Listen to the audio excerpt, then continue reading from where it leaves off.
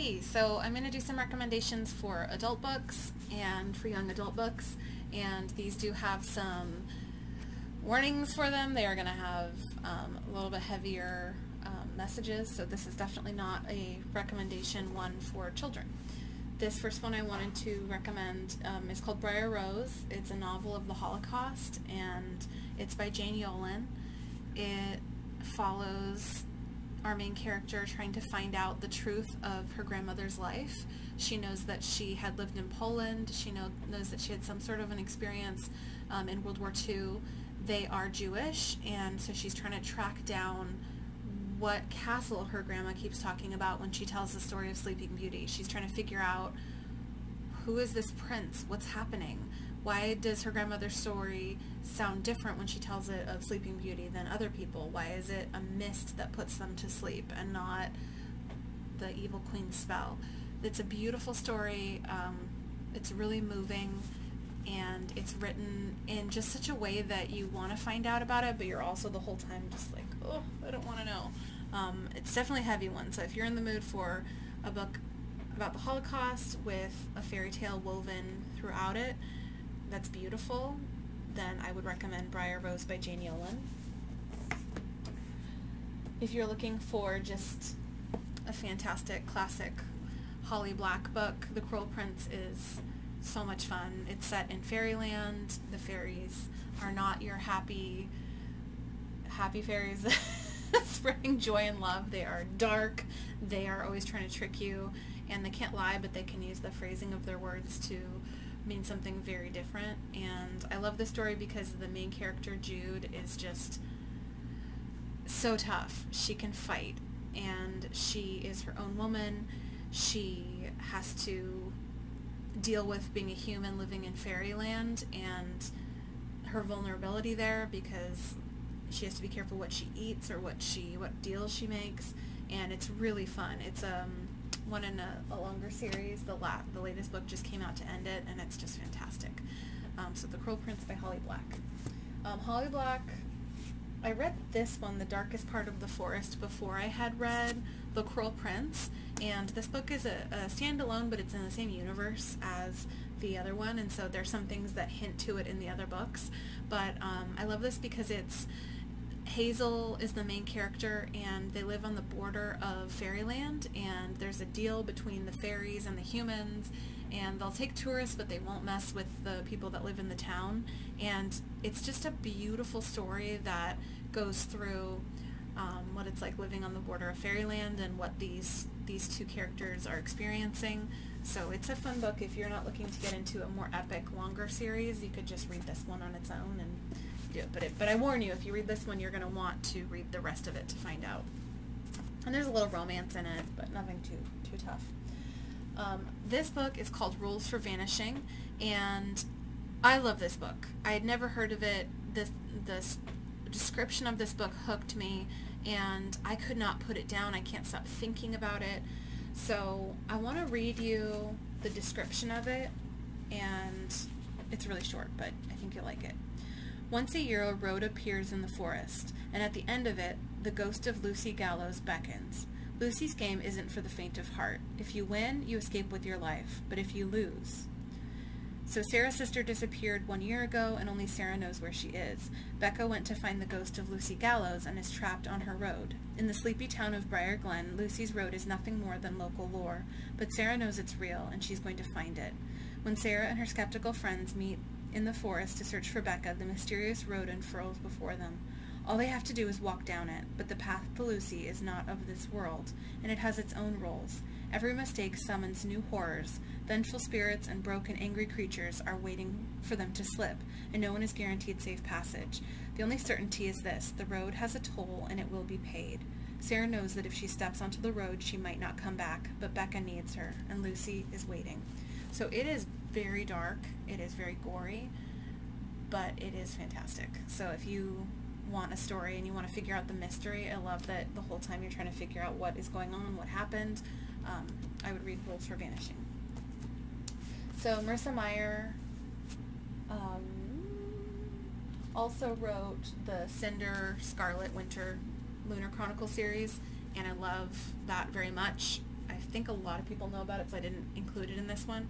But Heartless is a standalone book. It tells the story of the Queen of Hearts before she came became the Queen of Hearts, and I love in Wonderland. I love the Queen of Hearts, and so this story was just wonderful. Um, you follow the, the character who starts out um, as a young girl, and you get to see what happened to make her in the end this awful, awful character. So Marissa Meyer does it with just a wonderful skill, and it does have romance in it, and it does make you um, follow her story and try to figure out what's going to happen. But I really, really like it. Uh, ooh, ooh, so the Hazelwood, and this one is by Melissa Albertsch. Her sequel just came out to this one, and I haven't read it yet. I have it. I'm just so excited to read it. I also just don't want it to be over. uh, this book is fantastic. I read this at the same time I read The Darkest Part of the Forest, and they both just felt so good together. And it's a mix between a modern day, you're living in a city life story, and then also fairy tale world. So the main character that we follow, Alice, is living with her mom and she doesn't really talk to her grandma at all. Um, she's not really sure why they have to move all the time. They have to keep moving. And when she hears of her grandmother's death, they're supposed to go back to the mom's house to check it out. Um, but before they can, her mom disappears, and so she has to figure out what's going on with that. There's beautiful imagery throughout it. It is dark. It is haunting and I love it. so if you want to know more about this one, I would definitely read this, and I will tell you when I read the sequel. I can't wait. This book, I really went back and forth whether I should include it or not because I feel like some folks are going to hate it or love it. I'm kind of in a weird place with this book. I feel like The Bone Witch, I can't stop thinking about the characters, I can't stop thinking about the story, but it takes a really long time to get there. So if you like really wordy, long details trying to get to the point, then you would absolutely love this. If you want a faster payoff with a book, I would not recommend this series. It is a trilogy, and I think the second book is the best in this. The last book, you're just like, yes, tell me all about it to wrap this up. But this book is really slow getting started, but the idea of it is really cool. So there are people that are born with different magic abilities and our main character Tea is born with the ability to raise the dead and she can raise people. She can also raise these things called daevas which are basically these big monster creatures and there's different kinds and she goes into a lot of detail about each one and she's supposed to be getting trained to use her powers in the way that she that their magical society wants her to use them and she starts to question it she starts to think well why are the rules the way they are is there more to them? There's romance in it. It's definitely a lot of romance near the middle and end of the series. Um, it's epic. It's sweeping. I think it would make the most amazing movie. I'll just dream that one day they'll do it. Um, but it does take a really long time to get there. So if you are like this is the kind of book that I started it and I left it for probably about a year before I finished it. And then I finally was just like, no, you've got to do this, Mary. Get in it. And and I finished it. But um, there's a lot, a lot of detail in there, a lot of world building. But once you, you know, understand the world that you're building, it's it's really fun. I mean, she's re- she's creating these monsters, like raising these monsters up from the dead, and you're trying to figure out this mystery the whole time of um, of what's happening because it's told from two two time periods. It's told um, in the present from her perspective now that she's been exiled, and then it's also told from her telling the story of what happened to lead up to that. So you know, at some you know somehow she ended up in the Sea of Skulls, all by herself, living in this cave.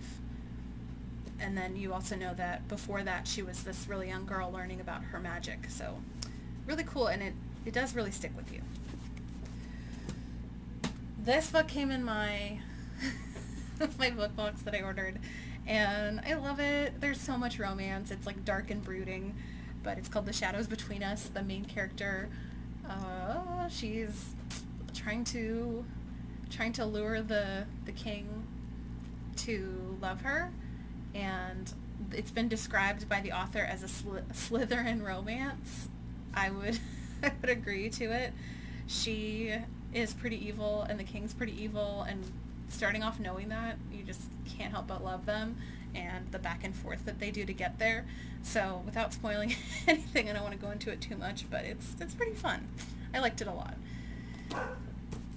This is also a book that was in one of my book boxes that I got, um, and it's called Woven in Moonlight. I enjoyed it because it had such a rich culture built into it.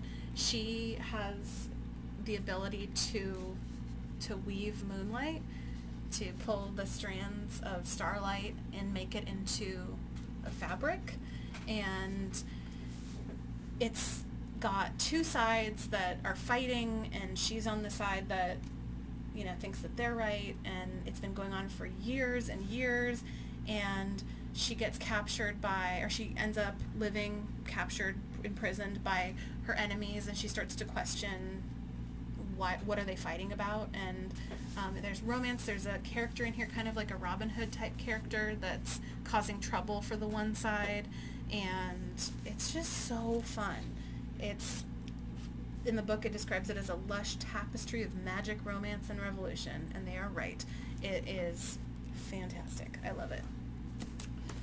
And then these last recommendations I wanted to make are fairy tale kind of, but with a much, much, much darker tone to them. And so this first one, it's Neil Gaiman and Lorenzo Mattotti. I don't think I'm saying that correctly. Hopefully I am. But it's a retelling of Hansel and Gretel, and the art in it is so dark and spooky. So like here's one, and more you look at it closely, the more you're like, ah, what's happening? But I really love this. It, it does a great job telling the story in a new way with, with new art. Definitely not a kid's version. And I also, kind of in that same series, um, Neil Gaiman wrote Snow Glass Apples, and it is really spooky. It's got um, it, it has some, definitely some adult pictures in here that I did not like, but I did like the art in it. So there, there should be, you know, warnings in it about adult content and some abuse and some other things. So this would definitely only be for adults, but um, it is really fun. Like it's got some pretty fun imagery in it. And I don't want to spoil the story for you, but um, you know, definitely this would be for adults and trigger warning. The next one I want to recommend is called The Sleeper and the Spindle and it is beautiful. I love this story. This is the one that got me into looking at different kind of almost graphic novel art for it. Um, it is, it has a main character that's a queen that is just so strong and powerful. She's she's got look at check this out on her horse. She's got a skull trailing behind her. I mean that's really cool. And then uh, the details in here. So it's a Sleeping Beauty story, but it's got a queen trying to figure out what's happening with it, and I love it. I love this one so much. And then the last one that I wanted to recommend to you for this um, adult recommendations is Through the Woods. I had never heard of Emily Carroll before, but as I was starting to try to dig into some different graphic graphic novels that had fairy tales in them that were a little bit more dark, she came up, and they are very short stories that have different they're, I mean, they're just little story after little story in there with these beautiful just art in there. And they're gothic at times, they're fairy tale feeling at times, I love them because they're not overly gory, but the ideas of the stories are so so just creepy and wonderful. Um, so she does have a website where she posts more of her stuff. So if you weren't sure if you wanted to buy buy the book or not, you could just you could just look at her website and check it out, but I really enjoyed it. So it's five mysterious, spine-tingling stories to follow the journeys into and out of the eerie abyss. And it's, it's a good a good one. Okay, so that's all I have for you today. I hope you guys enjoyed it. Um, adios.